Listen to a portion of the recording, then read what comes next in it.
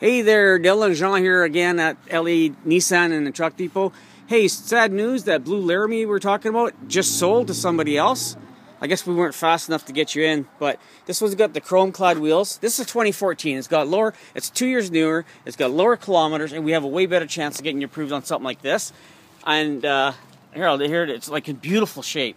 And it's got a wooden box liner and ready, chrome clad wheels, chrome bumper, trailer. You still got a class 4 hitch with the wiring and everything in there. Um, let's come take a look here at inside. Oh, I accidentally locked it. All right. Anyhow, have a quick view here. Um, nice, nice cloth interior. This is really tight and woven, tight woven, so it's very, very easy to clean.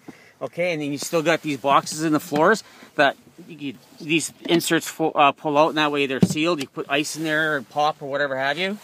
Beer when you're camping. And then you got power windows, power locks, power mirrors, automatic headlights, tilt. Um, then you go here to dial dial shifter, uh, AM, FM, um, tow haul mode. Um, you got cruise control, your drip, trip computer here, your liters per 100 kilometers, and distance to empty, and all that kind of stuff. And it's a beautiful truck.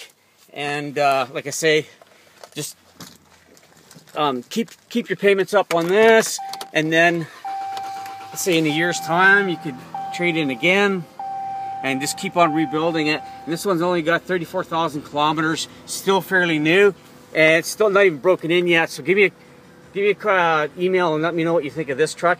It, Dylan, this thing is beautiful. It's in great, great shape, just like new. All right, take care.